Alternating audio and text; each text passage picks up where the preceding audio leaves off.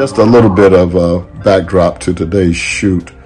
That camera there is interesting. When I went into, we're shooting in uh, uh, 4K today, but when I switched this camera into uh, video, the monitor stopped when we were recording. And then it stopped at the five minute mark, which is what I thought we'd overcome last week. But anyway, that's the issues that I'm having this week. And hopefully we get those ironed out in the life of being a YouTuber and trying to capture the best images possible for your channel. This is just a part of a quick little video I wanted to create about techniques and processes. Thanks for watching.